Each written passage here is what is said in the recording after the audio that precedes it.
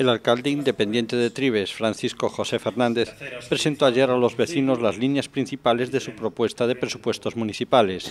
Una de sus partidas, cifrada en torno a los 12.000 euros, irá destinada a la regularización de los puestos de trabajo del Concello.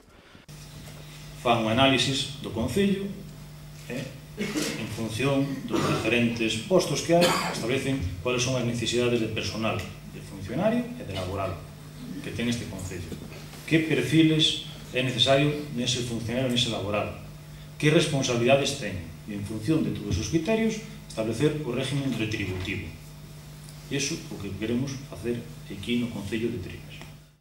Busca analizar la labor de todos los empleados, pero principalmente la desempeñada por la secretaria municipal, pues el equipo de gobierno considera su salario de 38.100 euros al año excesivo para la responsabilidad que asumió. De moitos anos